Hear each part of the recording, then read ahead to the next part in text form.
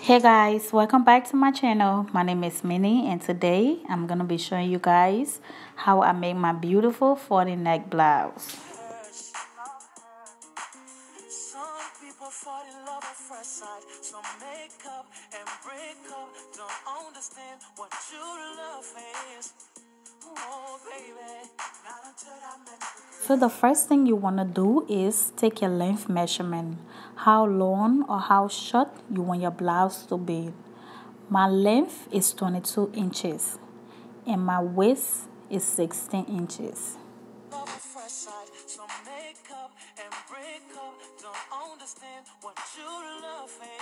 So at the top of your fabric, you're gonna mark 20 inches.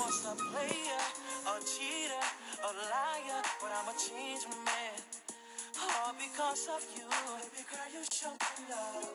And I appreciate a good woman. That's what you are. Shorty, Okay, so the next measurement I am doing is for the armhole. I'm gonna be marking 10 inches for the armhole.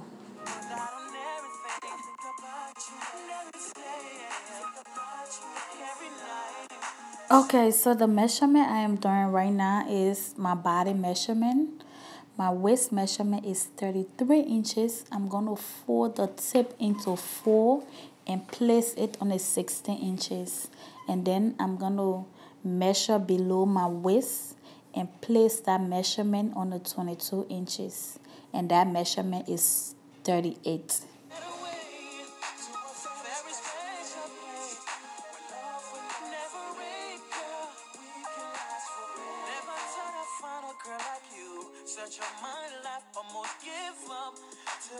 So after taking your body measurement, you're to connect from your armhole down to the 22 inches. Oh, baby, so You're so amazing.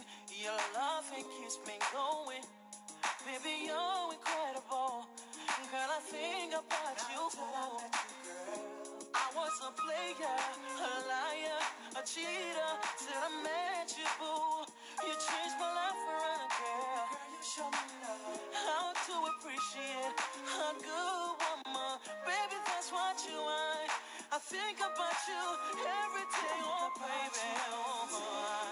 okay, so for this measurement, it's the neck hole. We're gonna do four inches at the top and the bottom. We're gonna do three and a half inches.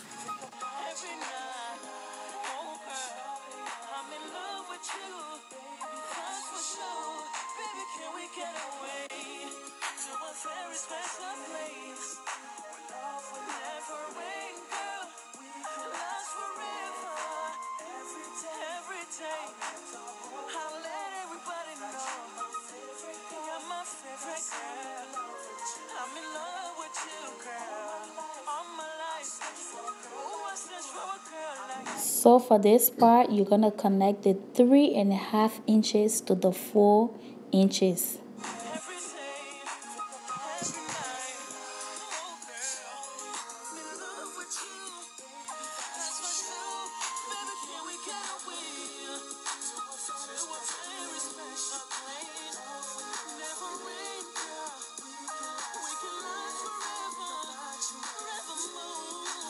So when you open the blouse, you should see the four inches that you took from the other side to the neck hole. Now you're gonna take another nine inches because you want the blouse to fall one side. So you're gonna take nine inches and add it to the four inches.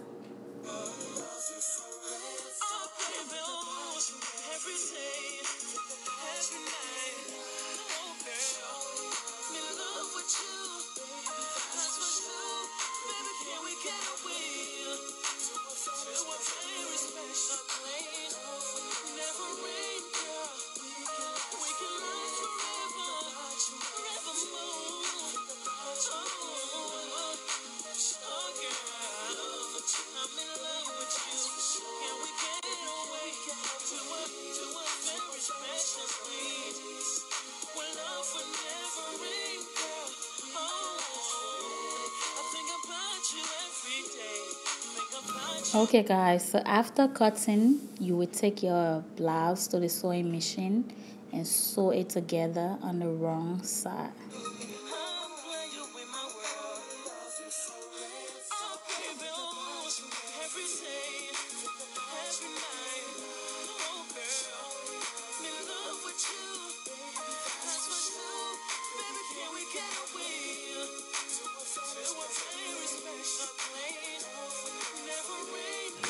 Okay, so this is how your blouse should look after sewing.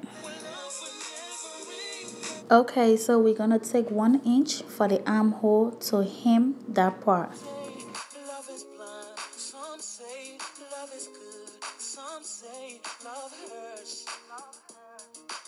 Some people fall in love at first sight. Some make up and break up. Don't understand what true love is. Oh, baby.